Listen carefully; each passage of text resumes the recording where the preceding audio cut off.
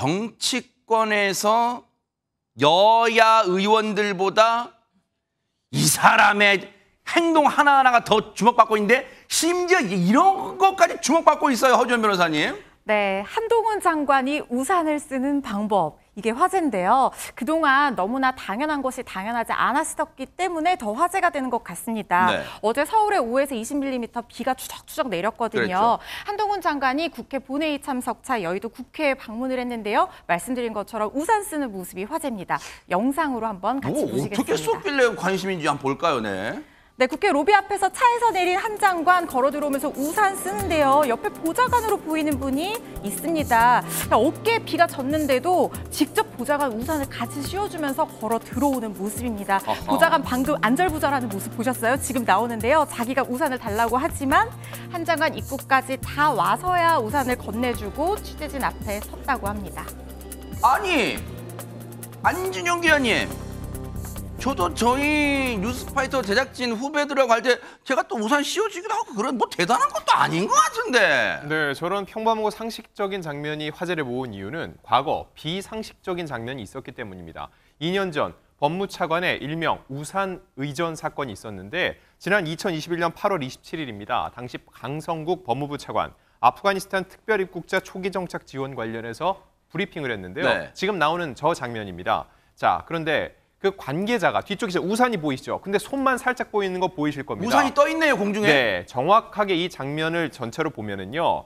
관계자가 뒤쪽에서 무릎을 꿇고 10분 이상 우산을 받쳐주고 있었다는 거죠. 어머 어머 어머 지금 보는 저 장면인데 생중계를 통해서 이 장면을 지켜보던 네티즌들 비판 의견을 쏟아냈습니다.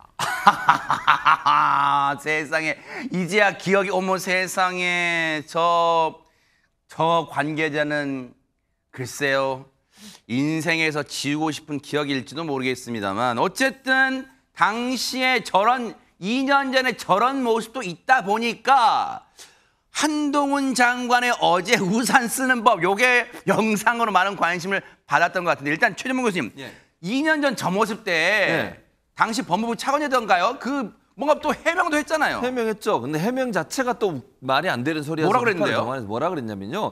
차관이 요구한 게 아니고 취재진들이 요구를 했다. 그러니까 취재진들이 요구를 해서 원래는 서 있었는데 그러니까 네. 저 우산을 받쳐주는 분이 서서 있었는데 사- 화면에 나오니까 카메라에 잡히니까 좀 앉아달라 해서 무릎을 꿇었다는 거예요. 근데 말도 안 되는 서서 찍으면 안 돼요? 아니 그리고 차관이 직접 들고 해도 되잖아요. 굳이 보좌관이 저걸 들어줘야 됩니까? 그걸 해명이라고 해요?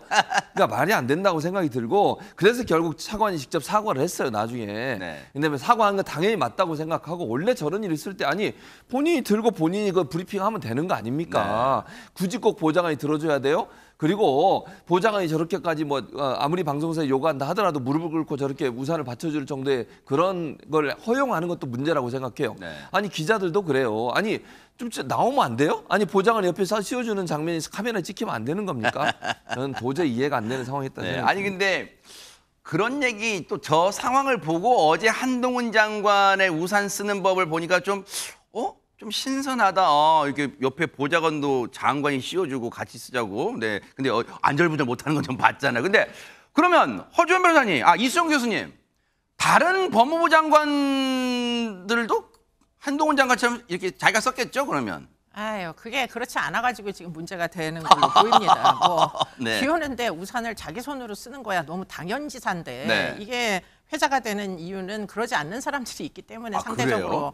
회자가 되는 것 같은데요. 네. 지금 전 이제 추미애 법무부 장관도 네. 지금 어, 저기 화면 나오죠. 아. 비가 오는데 두 손을 이제 코트 주머니 속에다가만 넣고 우아하게 걸어가면 걷네요, 네. 아하. 누군가가 우산을 씌워줘야 되는 상황이 전개되잖아요. 아하. 저런 이제 어떻게 보면 좀 권위적인 모습 이거는 사실 공직자들이 보이면 안 됩니다. 음. 공직자들이 결국에는 국민의 세금으로 월급을 받는 사람들인데 저렇게 누구 위에 사실 위치하는 것으로다가 스스로를 인식하는 건 진짜 잘못된 일이라고 생각이 들어요. 네.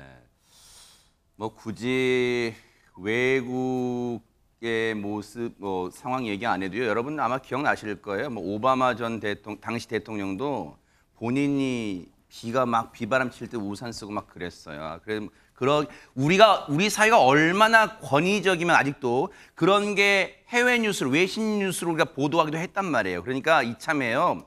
정말 이 사고 방식의 틀을 깨보세요. 관료분들. 정말 한동훈 장관 뭐 저희가 막 치켜 세우려고 한 건 아니에요. 다만 이런 모습조차도 회- 화제가 되고 회자가 된다는 건 그동안 우리 공무원 사회 또 여야 정치인들이 얼마나 권위적인 모습에 찌들어 있는가를 보여주는 그런 방증이다. 그런 생각도 해 봅니다. 변화하기를 좀 기대해 볼게요. 보고 계십니까? 대박 사건. 네. 안녕하십니까? 김명준입니다. 여러분과 함께하는 뉴스파이터. 다양한 소식과 뉴스를 보고 싶으시면 화면 오른쪽을 꾹 눌러 구독해 주시길 바랍니다. TV로도 유튜브로도 여러분께 한 발 더 다가가겠습니다. MBN 뉴스와 뉴스파이터를 사랑해 주셔서 고맙습니다.